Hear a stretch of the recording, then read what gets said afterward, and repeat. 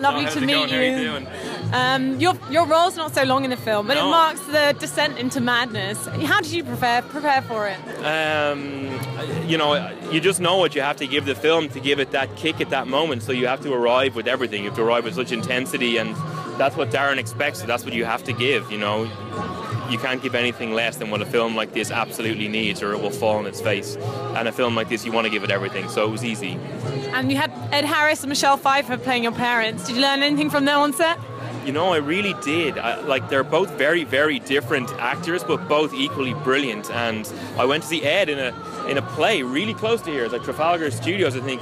Like afterwards, just to see him again up close, because what, what both those actors do is, like I said, very different to each other, but they're consummately brilliant. You know.